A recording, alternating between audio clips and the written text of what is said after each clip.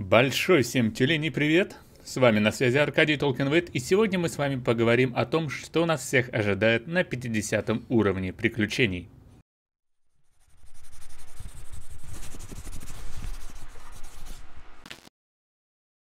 Да, сегодня опять будет длинное видео в подкастовом видео, в котором я порассуждаю немножечко с вами о том, что нас всех ожидает на 50 уровне приключений. Я вчера взял наконец-то 45 уровень приключений, да, это значит, то, что я наконец-то могу начать фармить себе легендарные артефакты достаточно в большом количестве. Плюс к тому же уже начинают выпадать легендарные книжки талантов, но, как понятно, с очень маленьким вероятно... шансом вероятности выпадения. В общем, ничего такого прям особо сильно изменения-то и не произошло, да. Ну, единственное, что можно сказать, то что да, на 40 уровне золотой предмет выпадает там шансом 20-30%, а с 45 уже со стопроцентной вероятностью. Но может возникнуть э, закономерный вопрос. Если на 40 было все так плохо, на 45 становится лучше, то на 50 должно стать еще лучше. С одной стороны, это правильный порядок действий, но с другой стороны, нифига. Некоторые блогеры уже добрались до 50 уровня приключений, и они нам показали то, что в принципе нифига нового нас не ожидает, да, то есть вот единственное что, это вот следующий уровень для мировых боссов. То есть количество артефактов фармимых не изменяется. Вот чуть-чуть побольше начнет падать реагентов непосредственно с мировых боссов.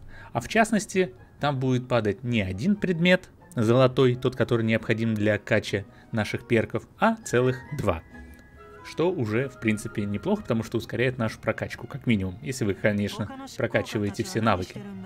Но там возникает еще одна некоторая проблема, потому что на высоких уровнях э, прокачки навыков возник, э, появляется еще один такой предмет, как корона. А, кстати, эту корону нам будут выдавать во время нового ивента, который вот у нас сейчас будет проходить. Так, где он у нас? Так, вот в, мер в мероприятиях. Вот в этом ивенте как раз-таки нам будут давать корону прозрения. То есть вот это вот предмет, который нам всем будет необходим для дальнейшей прокачки навыков. То есть это must всем, поэтому готовимся получать большую-большую жопу. В чем проблема, да? То есть к чему вообще все это видео? А видео, оно к тому, то что, в принципе, после того, как вы добираетесь до 45 уровня, рашить следующий уровень особой нужды нет.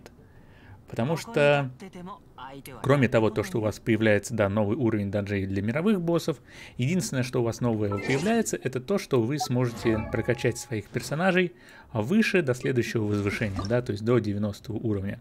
Потому что здесь требуется 50 уровень приключений вы более просто начнете фармить на 90 уровне те же самые данжи, более просто станет фармиться витую бездну, но в любом случае, прям какого-то такого резкого изменения дропа не получится, не появится. И у меня есть такое маленькое предположение, то что нас э, после обновления 1.3, когда уже абсолютное большинство будет подходить к уровню 50+, в этом случае у нас откроются, скорее всего, новые уровни данжей. Потому что в данный момент, как вы все знаете, открыто, по крайней мере, общие планы разработчиков до обновления 1.3. Уверен, то, что это примерно до января-февраля расписано. После этого момента я более чем уверен, то, что нам откроются как минимум либо же новые уровни в старых данжах, где мы сможем получить другие предметы. Ну, как другие? те же самые, только с увеличенным, увеличенным качеством. То есть, допустим, сейчас у нас, да, то есть есть идет стандартная градация, да, есть белые предметы, есть зеленые, есть синие, есть фиолетовые, есть оранжевые. В корейских ММО обычно после оранжевых предметов идут красные предметы. И вот я подозреваю то, что как раз таки дальше нас и ожидает то, что а, у нас будут красные предметы, выпадающие в новых данжах. Почему? Потому что, в принципе, как мы видим по количеству звезд, 90 уровень это наш финальный уровень. То есть по уровням уже дальше развития нет. Ну, само собой, разработчики, скорее всего, как-нибудь постараются увеличить наш прогресс И само собой будет еще добавляться уровень, потому что 90, ну как-то это не по-человечески. Маленькое число для китайских условно ММО проектов. И получается так, то, что сейчас, в данный момент, до выхода 1.3, наша задача это просто с удовольствием для себя фармить артефакты во всех данжах, прокачивать максимально свои текущ, своих текущих персонажей. Если вы их уже до максимального уровня прокачаете, то переходить на следующих персонажей. Потому что, ну, как минимум для бездны нам нужно прокачивать двух керри, Потом еще надо прокачать четырех, э, как минимум, саппортов, которые будут вам э, реак реакции проводить, а потом еще двух хилов. А еще вдруг, возможно, вам выпадут новые герои, которых вы тоже захотите прокачать. А это еще целый ввоз ресурсов и целый ввоз э, того же самых книжек опыта. Что самое смешное, вы можете сказать то, что на 50 уровне после 50 должно стать больше выпадать золото с артерий, книжек с артерией с опытом. Нет, нифига. Вот это вот 60 тысяч опыта за одну артерию, это на текущий момент максимальное. И поэтому получается, что реально вот дальше после 45 уровня арашить я не вижу нужды. Именно это мое мнение. Если вы хотите прорашить э, опыт дальше для того, чтобы до 50-го дорашиться, это ваше абсолютно право, но лично у меня, у меня не хватает уже ресурсов для того, чтобы прокачивать всех персонажей, плюс к тому же у меня выпал Child, которого надо прокачать, это тоже целый такой ввоз ресурсов, которыми надо заниматься. Какой я для себя сейчас текущий выстраиваю план? Действий на 45-50 уровень. Ежедневно я закрываю данжи по необходимости. Приоритет отдаю сначала для данжей вот этих вот, то есть здесь я хочу выбить себе артефакт церемонии знати, непосредственно для чайлда. Здесь еще, возможно, азартный игрок нападает. Ну, что соберется, то соберется. Само собой, книжки для чайлда выбивать. И в остальном э, заполнять мировыми боссами и артериями земли и артериями опыта, чтобы максимально стараться себя придерживать по необходимому уровню. Ежедневно я максимально заливаю себе 50 примагемов в смолу, для того, чтобы получить дополнительный опыт, для того, чтобы получить дополнительные ресурсы. Единичная покупка за примагемы смолы – это самая эффективная покупка. Можно, если у вас еще много примагемов и вы периодически подоначиваете, можете еще дважды восстановить. То есть максимум три раза можно восстанавливать э, смолу за примагемы с наибольшей эффективностью. Дальше там получается прям совсем адские цены, и особо сильно я вам тратить примагемы на ту фигню не советую.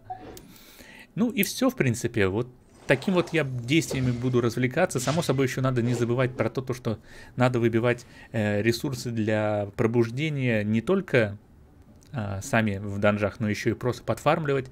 А дальше их становится очень много, они становятся очень разнообразными. И просто становится больно то, что количество времени. Вроде бы кажется то, что количество общее времени ты в игре должен проводить уже не так много, потому что у тебя типа нет смолы. Но с другой стороны, игра тебя все равно будет заставлять играть, потому что ресурсов, выбиваемых просто с мобов, будет требоваться все больше, больше, больше, больше, больше и больше. А, как мои вообще ощущения после взятия 45 уровня? И я, в принципе, не почувствовал пока в, именно непосредственно в открытом мире каких-то больших проблем с убиванием мобов. Да, они стали толще, да, э, времени на их убийстве стало тратиться немножечко побольше. Но в общем плане, по крайней мере, уже появляется хоть какой-то челлендж, и когда их надо хотя бы хоть периодически помучить, чтобы их пробивать. А в данжах, да, в данжах стало ощутимо сложнее, потому что на последних уровнях данжей, именно те, которые требуют для выбивания уже э, большой вероятности легендарных предметов, там, да, уровень сложности повысился достаточно сильно, просто из-за того, что существа в этих данжах стали 90 уровня. А у меня все-таки персонажи только 80-е, и из-за этого просто не хватает характеристик. Но ничего, я уверен, то, что в скором времени, я когда потрачу некоторое время на выбивание легендарных артефактов и на сбор уже этих нормальных сетов на всех персонажах, то эти проблемы у меня исчезнут. Потому что вот если посмотреть, то у меня единственный персонаж, который более-менее одет по артефактам, это вот это вот Сянлин, да и то, видите, у меня не до 20 уровней прокачан, да, то есть вот один сет такой более-менее, а вот тот же самый Child, он вообще у меня вот двумя кусками только дальше не прокачанный.